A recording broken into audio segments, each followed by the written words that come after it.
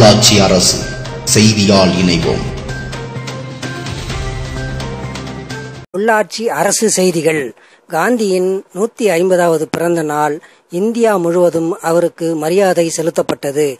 இதன் ஒரு பகுதியாக திருச்சி மாவட்ட ஆட்சியர் ராஜாமணி திருச்சி தபால் நிலையம் அருகில் உள்ள காந்தி சிலைக்கு மாலை அணிவித்து மரியாதை செலுத்தினார். இதனைத் தொடர்ந்து காந்தியின் நூத்தி ஐம்பதாவது பிறந்த நாளை சிறப்பு கதர் விற்பனையும் மாவட்ட ஆட்சியர் ராஜாமணி திருச்சி ரயில்வே ஜங்ஷன் அருகில் உள்ள காதி கிராப்ட் விற்பனை நிலையத்தில் முதல் விற்பனையை தொடங்கி வைத்து மூன்று சுதந்திர போராட்ட தியாகிகளுக்கு பொன்னாடை போர்த்தி கௌரவித்தார். தொடர்ந்து முதல் விற்பனையை துவக்கி வைத்தனர். திருச்சி மாவட்ட செய்தியாளர் பாலகுமாரன். செய்தி வாசிப்பது ஜி பி ரங்கநாதன்.